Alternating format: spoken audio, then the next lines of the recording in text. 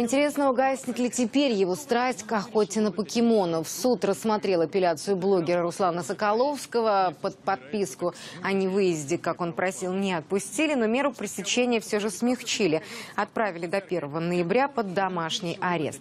Напомним, 3 сентября охотника за карманными монстрами из Екатеринбурга взяли под стражу.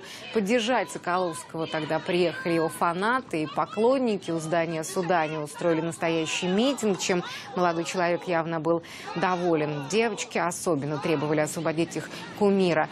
Поддержать блогера пришел мэр города Евгений Ройзман. Решение суда отправить Соколовского под домашний арест он назвал разумным. Это более-менее разумное решение. Конечно, нельзя было а, его арестовывать. А, Думаю, что на него не надо было даже обращать внимание. Ну, хотя бы потому, что он именно этого добивался. Вот. Ну, а дальше уже спасение утопающих, дело рук самих утопающих. Он, ну, ему все равно придется повзрослеть, придется стать более зрелым, придется по-другому посмотреть на то, что он делал и как он жил. Плюс у него ответственность за мать, потому что он один у матери, в общем-то, он ее содержал.